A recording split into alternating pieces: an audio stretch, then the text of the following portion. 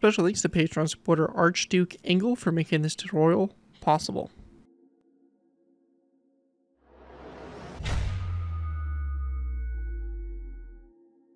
Hello ladies and gentlemen, Scared before here bringing you another Minecraft Cold War path to build tutorial. In this tutorial we'll be going ahead and building the HNLMS De Zeven Provinciën C802. The De Zeven Provinciën was a De Zeven Provinciën class cruiser of the Royal Netherlands Navy. Laid down in 1939, construction was interrupted by World War II, and the ship was only commissioned in 1953 with the identification number C802. She served until 1976 when she was purchased by Peru and renamed the Erigai. Erigu? Something of that sort. With the Peruvian Navy, she uh, served until 1999 and was scrapped in 2000. The De Zeven Provinciën was armed with 852mm or 6-inch guns in double turrets, 8 um, 57mm and 8 40mm machine guns. The rear turrets were replaced in 1962 with the RIM-2 Terrier SAM system. She was 185.7 meters long and had a beam of 17.25 meters and a draft of 6.85 meters. She, uh, she displaced 12,250 tons and could achieve a speed of 32.2 uh, knots. Um, she had a crew of 957. During her service with the Peruvian Navy, she was converted to a helicopter cruiser. To do this, the remaining turrets at the back of the ship were removed to make space for a hangar and a flight deck uh, big enough to support four helicopters. So yeah, it's a really cool ship. I think this is actually the first uh, Netherlands ship to actually um, incorporate uh, surface to air, just surface to surface uh, missiles on it. Basically, the first ship really to have missiles for it in the Netherlands Navy.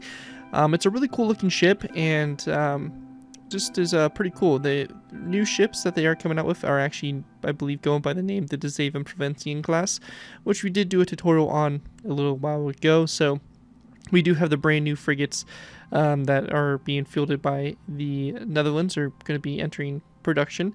Uh, but this right here is basically that kind of precursor to it. It definitely has that World War II look to it, but again, I really am starting to grow fond of these kind of early mid Cold War type ships because they all had that kind of they're a really good crossover, I should say, between World War II and modern ships. They have that World War II feel to them, but they still have that Cold War aspect of these, um, you know, missile systems and uh, trying to incorporate all this new technology while still keeping that doctrine of having a lot of actual projectile main gun batteries.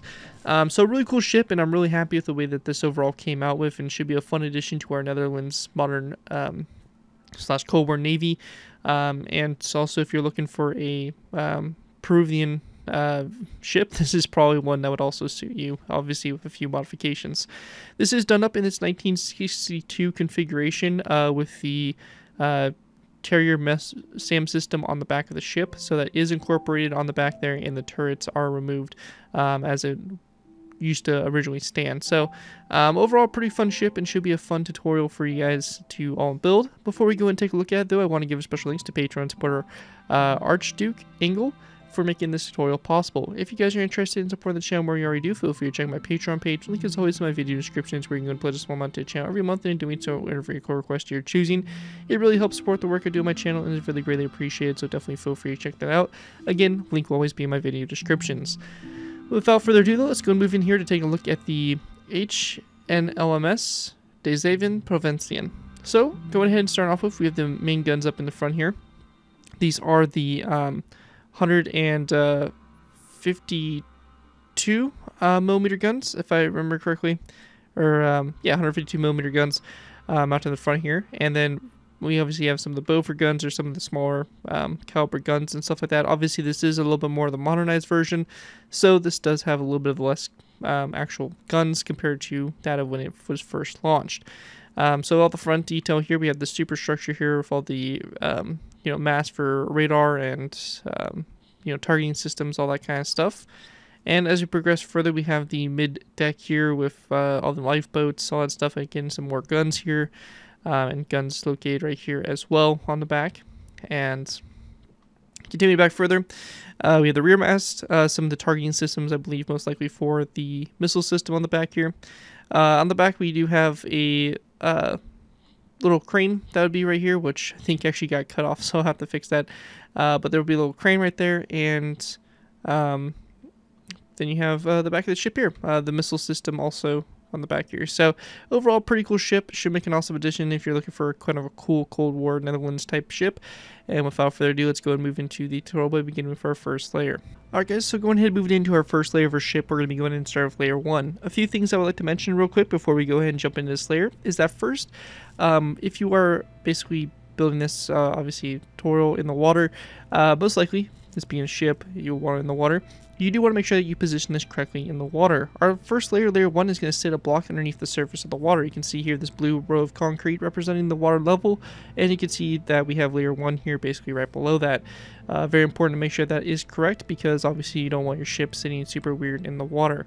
Um, but yeah, with that out of the way, that's it for that. And also, in addition, if you're completely new to my BAFTA build tutorials, the way I like to structure these tutorials is for about the first three layers for this ship. We're going to do half on camera, half off. What this means, I'm going to be building the entire center line, and then the right side of the ship, and it'll be up to you guys to take the right side, copy it over to the left side. Since this uh, whole section is completely symmetrical and there's not a whole lot going on, that's the way we're going to structure it. Once we get into the superstructure and some of the more difficult uh, parts of the build, we will be going ahead and covering those a little bit more in detail.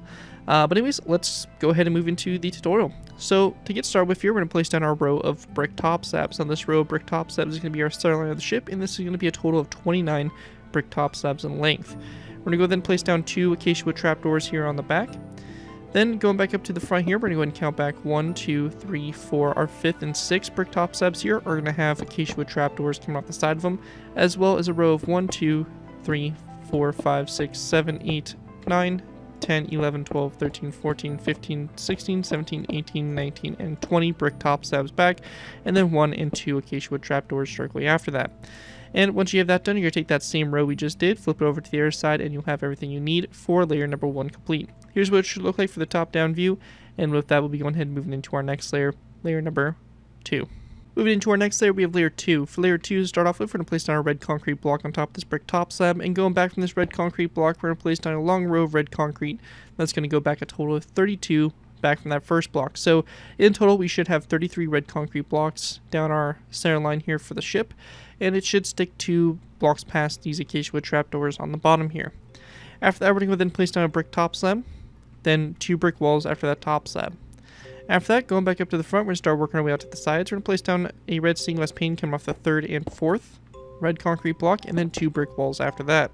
We're going to go and then switch back to red concrete, place down 1, 2, 3, 4, 5, 6, 7, 8, 9, 10, 11, 12, 13, 14, 15, 16, 17, 18, 19, 20, 21, 22, and 23 red concrete blocks back, followed by two brick stairs, an acacia wood uh, fence gate, and then two end rods back, and then a uh, birchwood slab like that on the very end there.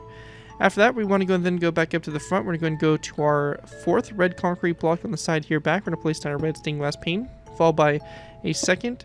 Then we have 3, 4, 5, 6, 7, 8, 9, 10, 11, 12, 13, 14, 15, 16, and 17 red stained glass along the side there in total. Looking at from above here, this is what it should look like for the top-down view. And once you have that all complete there, that is going to wrap up what we have there for layer number 2 of the ship. With that, let's move on to layer number 3. Moving on to our next layer, we have layer number 3. For layer 3 to go ahead and get started with here, we're going to place down a stone block on top of this red concrete block here. Then a red stained glass pane coming out, or sorry, a light gray stained glass pane coming off that toward the front. We're going to go then place down two more stone blocks back from this one, so you have a total of 3 here. We're going to go then place down a row of 4 of gray wool. After that row of 4 gray wool, we're going to place down a long row of stone going back. That's going to be a total of 22. And then after that row of 22, we're going to place down 1, 2, 3, 4, 5, and 6 gray concrete, or sorry, gray wool blocks. And then a stone block here on the very end. After that's all done, we're going to then go back up the front and work our way out to the side. We're going to grab ourselves an item frame. And then after that item frame, we're going to go ahead and also grab ourselves a uh, crossbow. We're going to go and place down an item frame here on the side of this stone block. And then a crossbow in the item frame rotated to face downwards like so. We then want to place down two light gray stained glass panes back, two andesite walls, and then one, two, three, 4, 5, 6, 7, 8, 9, 10, 11, 12, 13, 14, 15, 16, 17, 18, 19, 20, 21, 22, 23, 24, 25, and 26 stone blocks back, then 1, 2, 3, and 4 andesite walls, and then 1 light gray stained glass pane here. We also want to go ahead and grab iron bars. We're going to place down two iron bars coming off these last two stone blocks, or sorry, stone walls, like that. And then going back up to the front here, we're going to go and count one, two, and our third stone block back. We're going to place down a light gray stained glass pane to the side of it, followed by a second one back, then 3, 4, 5, 6, 7, 8, 9, 10, 11, 12, 13, 14, 15, 16, 17, 18, 19, 20, and 21 uh, light gray stained glass panes back. So You can double check our count here, and it should be 21 in total. After we have that all done, same thing on the other side like we've been doing, and that right there will basically conclude what we have there for layer number 3.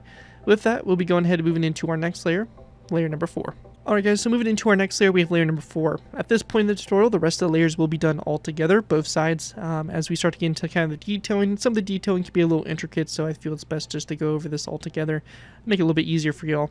Um, but let's go ahead and get started. First thing we want to do is we're going to place down a andesite, or sorry, a birchwood fence gate on top of this wall, or on top of this glass pane, and then open this toward the front like so. We're going to go ahead and take birchwood signs, and we'll just wrap around the fence gate like so. After that, we can also go ahead and take the time to place down an end rod on top of it, just like that to go ahead and complete the front little mast there. We're going to go ahead and place down a stone slab back, followed by two daylight detectors, which will turn to the night mode like so, and then a light gray, or a skeleton skull on top of these light gray stained glass panes at a slight angle like this to the sides there. After that, we want to go and then place down a stone brick stair, which will be on top of this uh, block right here. And then we're going to place down a stone brick upside down stair directly behind it. Coming off that stair toward the front, we're going to place down a dark oak wood fence gate, and we're going to open it up toward that stair like so. Um, after we have that done, we're going to go then take our light gray carpet, or dark gray carpets, or just normal gray, I guess, and place down two of these carpets on top of these two stone blocks like that to both sides. If you're on Java, we can also take the time to place down an item frame on both sides of that stone brick upside down stair. And in those item frames, we're going to place down a gray bed, which will be rotated with the back facing backwards, and that is going to be a light gray bed. Once we have that done, we want to go and then place down a andesite wall here, directly behind that, followed by a stone full block, and then to the sides of that stone full block, we are going to place down a light gray stained glass pane to both sides. We then want to place down a row of three of stone, followed by a second row of three of stone, a third row, and a fourth row like that across. These last three rows here are going to have end rods. They're going to be on top of these glass panes to the sides and those are going to be the last four rows. We then want to go ahead and continue on by placing down another set of of uh, two rows of three of stone going across. We're going to go and then place down a quartz stair, like so, and then a quartz slab behind that. And same thing will be done over here, quartz stair and quartz slab. We'll go and grab ourselves some birchwood signs again and place them down the sides of the stair and the slab. Like that for our first lifeboat there. We're going to go then place down another set of uh, two rows of three of stone blocks like that across, this time followed by a white bed on both sides like that. This point is going to be a little bit different. We're going to place down two stone blocks down the center, two andesite walls to both sides there, and then a white bed on top of these glass panes like that to both sides. Once we have that done, we want to go and then place down a row of three of stone blocks across, then a stone brick upside down stair to both sides, and we want to place down another stone block there in the center, andesite wall to both sides, and this time a skeleton skull on the side of that stone brick stair. Continuing on, we're going to go and then place down a row of 1, 2, 3, 4, and 5 stone blocks down the center. Then 1, 2, 3, 4, and 5 andesite walls, and then 1, 2, 3, 4, and 5. We're going to go and then place down a iron trapdoor. Coming off this one, right here, to both sides. We're going to go then place down a birchwood fence gate on top of this glass pane, which will be opened up toward the outside like so. And we want to go and then place down two more iron trapdoors going back along the sides there. After we get to this point, we're going to and then take our stone blocks. We're going to place down a row of three, followed by a second row of three, and then a third row like that across. We can go and then take our polished black stone buttons, and to make some portholes here along the side here, we're going to place down three polished black stone buttons along those rows there. On the back here, we're going to place down a stone block here, and andesite wall to both sides of it. We then want to place down a birchwood fence gate here, which will be opened up toward the rear of the ship, like so. Then a daylight detector, which will be turned to night mode. Make sure you open that fence gate or uh, just that fence gate if it does change on you. We then want to place down a stone stair here, and then behind that stone stair, we're going to place down a anvil. Now coming off the sides of the anvil, we're going to place down a birchwood fence gate to both sides, and we then want to go and place down an end rod coming off those birchwood fence gates like so. After that, we want to then place down a redstone uh, repeater in the center there, like so. And we're going to then place down our birchwood fence gate on this stone block here, open toward the rear, and then on top of that, we're just going to go in very simply place down a end rod like we did for the front there. Um, after we have that all done there, we're also going to go ahead and take some gray carpet and we're just going to place down two gray carpets on top of these two stone blocks there. And that right there will basically complete everything we have there for layer number four of the build. Taking a look at it from above, this is what it should look at from the top-down view. As you can see, we're starting to get some of the superstructure, starting to get a little bit of that shaping going on. But that right there will conclude layer 4. And with that, let's move on to layer number 5. Moving into our next layer, we have layer number 5. For layer 5 to begin with, we're going to go and take a redstone repeater, and we're going to place it down on top of this stone brick down stair. We're going to separate the notches like so. We then want to place down a stone brick stair, which will be on top of this stone block here, and then a stone brick down stair directly behind that. To the sides of this, we're going to go and place down a gray carpet to both sides, and we can go ahead and then place down a item frame on the sides here of this stair again if you're on Java, and we'll place down a light gray bed in it and rotate on its side, so just like we did um, down there for that turret. After that, we're going to then place down a andesite wall right here, and then we're going to place down a light gray stained glass pane to both sides of that wall, like so. We then want to place down one, two, three, four, five, and six stone blocks down the center here. We're going to go and go to the sides and place down two andesite walls here on both sides. And then we want to go and switch to light gray stained glass panes. We're going to place down a row of three to both sides. And then we're going to place down an anvil like so to both ends like that. We're going to go then grab ourselves some item frames again. And we're also going to need some white beds. We're going to place down item frames on the sides here of these glass panes. And we're going to place down white beds rotated on their sides like so in those glass panes and same thing will be done over here on this side as well. So just like that. In addition, we're going to go ahead and take some gray carpet and on top of these end rods, we're just going to go and place down some gray carpet like so. Going ahead and continuing on back here to this section, we're going to place down a white bed on top of these two walls like so. Then a redstone repeater in the space in between them. And then we're going to go ahead and take a gray carpet and we're going to place it down here in the center. We then want to go ahead and grab a piston. We're going to place down a piston like this to both sides. And we're going to go ahead and then place down a dark oak fence gate coming off the pistons here to, to the sides like so.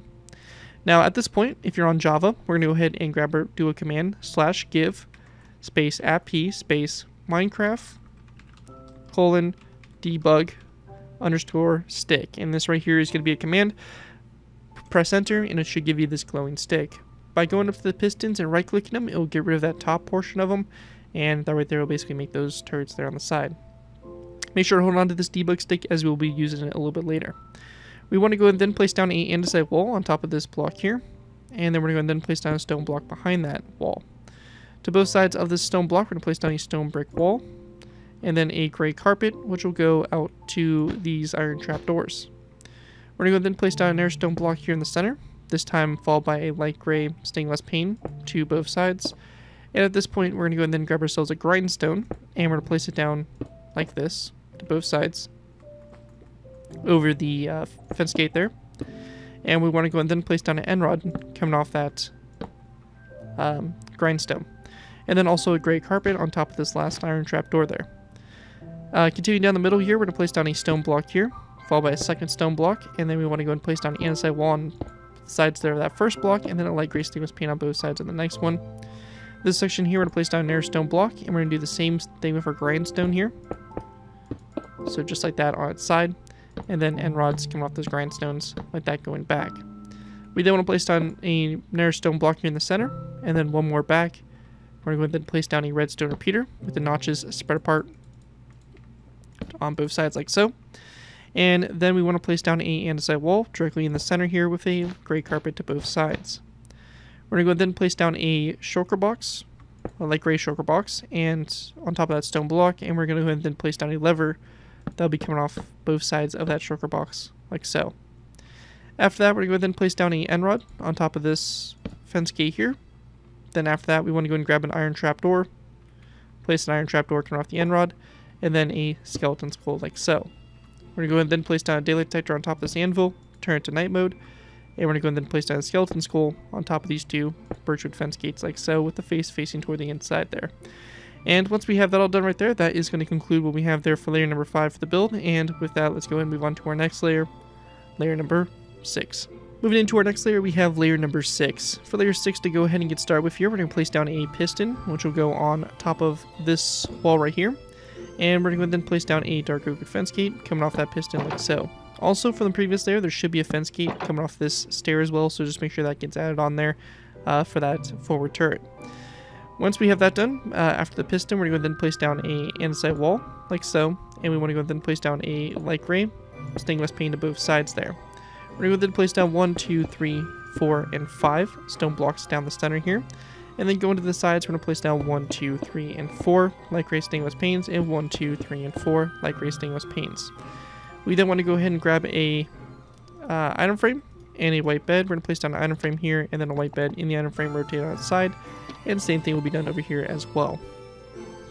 We're going to go and place down a cobweb to both sides like so, followed by wither skeleton skull coming off those cobwebs, and then a andesite wall coming off that stone block like so.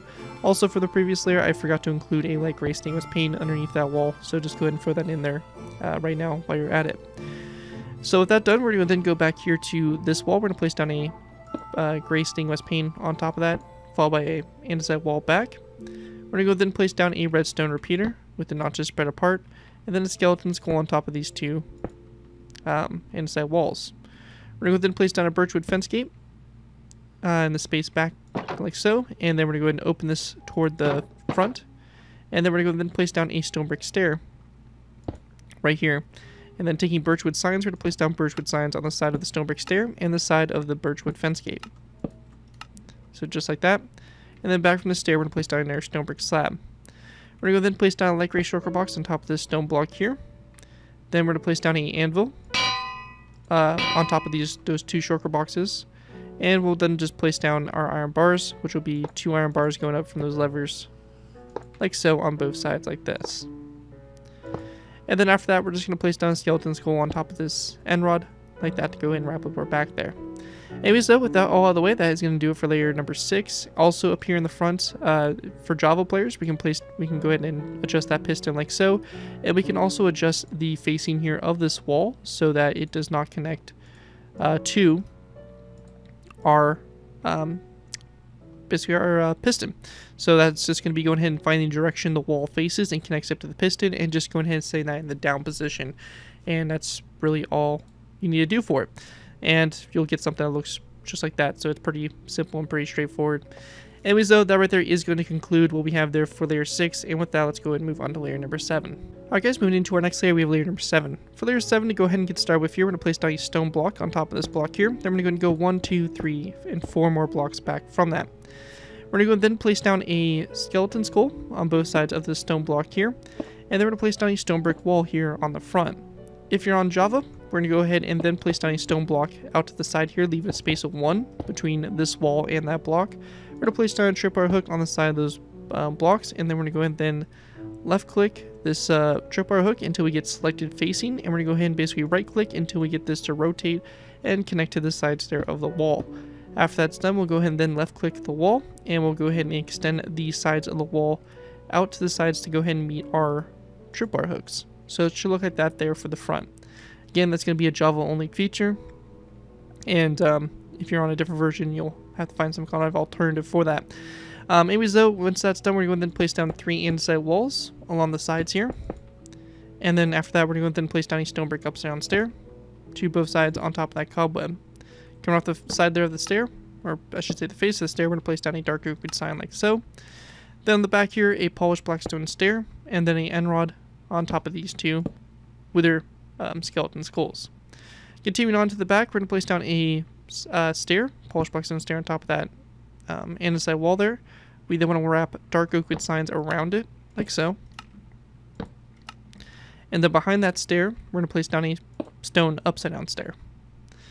Going ahead and continue our way back, we're going to place down a birchwood fence gate on top of this fence gate here, and on top of this um, stone brick stair here. We're going to open the both fence gates away from each other, so you should get something that looks just like that there for the back. And that right there will finish off what we have there for layer 7. And with that, we're probably just going to move into our final layers of our build and just basically add everything that we have left to do. So with that, let's go ahead and move into our final layers. Alright guys, so moving into our final layers, we have layers 8 through 13. For these layers to go ahead and get started with here, we're going to begin with by placing down a skeleton skull on top of this stone block here. Directly behind that, we're going to place down two end rods that go up like so.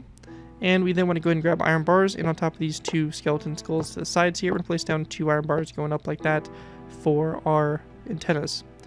After that, we're going to go then place down a stone brick slab here, then a um, end rod to both sides of that stone brick slab, and again, a iron bar that goes up from that, like so.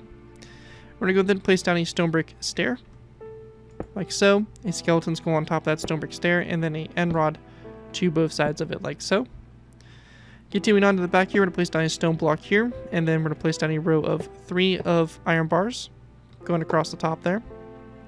And we also want to go and place down a redstone repeater on top of these stone brick stairs, like so. After that's done, we're going to go and place down a dark oak fence gate coming off this stone block here. To the sides of that, we're going to go and place down a wither skeleton skull, like that.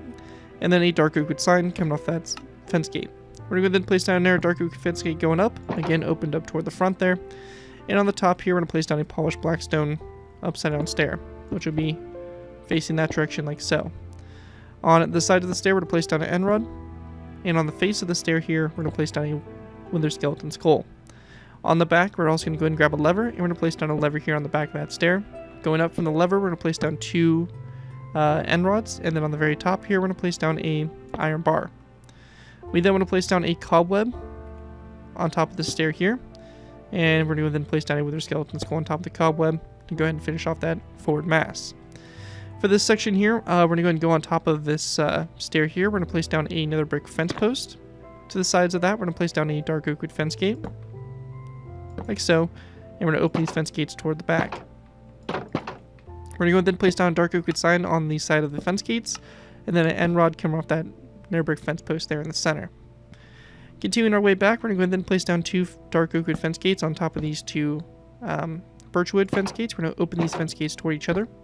Then another set of fence gates facing each other like that going up. We're going to go then place down a fence gate right here, open it toward the back, and then we're going to go and then grab a polished blackstone stair and place it upside down coming off that fence gate. Coming off the front of the stair also, we're going to place down a fence gate and open it toward it like so.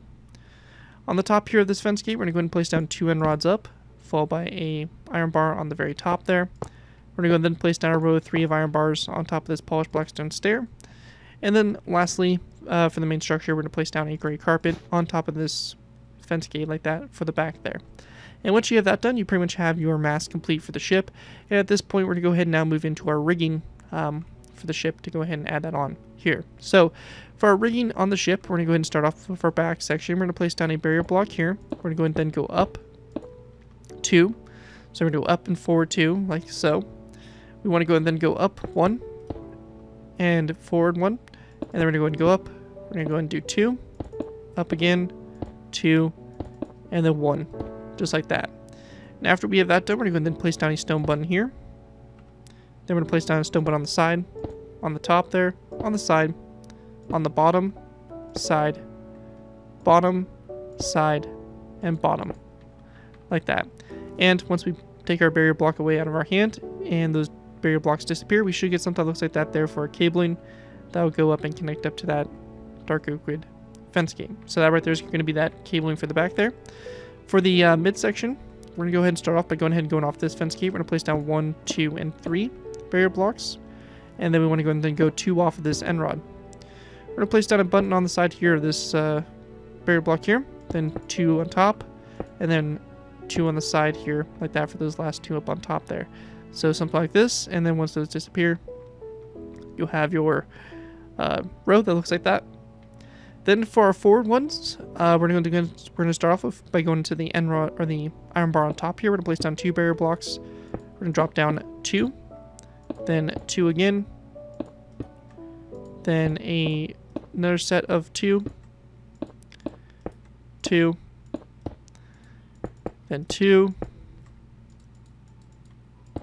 and then two, two, and then one.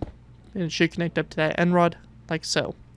Then taking our stone buttons, we're going to place down a button on the side here of this uh, this top one. So be a button on the side here, then a button on bottom, side, bottom, side, bottom, side, bottom, side, bottom, side, bottom, side, bottom, side, bottom, and side like that. And once you have that all done right there, that will basically do our rigging for the ship, and with that, that will complete what we have there for uh, layers 7, or sorry, layers 8 through 13, and that will complete my tutorial here for the HNLMS, De Zeven Provinciën C802 cruiser. Hopefully you guys do enjoy this tutorial and are able to put it to good use if you do end up using this build. I do ask that you guys give me proper credit for it. This being anything from a solid build, link to my channel or this video if this does appear on any social media sites. As long as you guys give me proper credit for your free user for a project you guys are working on. Overall, enjoy the build, have fun with it, and all that fun stuff. With that though, again, a big special thanks to Patreon supporter Archduke Angle for making this tutorial possible. And as always, feel free to check out my Patreon page. Link is always in my video descriptions. With that though, thank you guys again so much for watching. As always, don't forget to like, comment, and subscribe. This is me Garrett 2x4, and I'll see you guys next time.